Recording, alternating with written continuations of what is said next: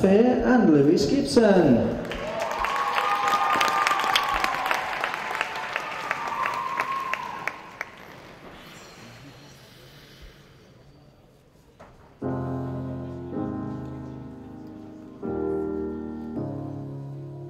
Hello, it's me.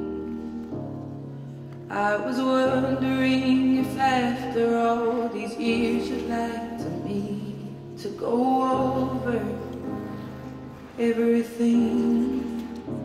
They say the time's supposed to heal ya, but I ain't done much healing. Hello, can you hear me? I'm in California dreaming about who we used to be when we were younger and free. I've forgotten how it felt before the world fell at our feet. There's such a difference between us and a million.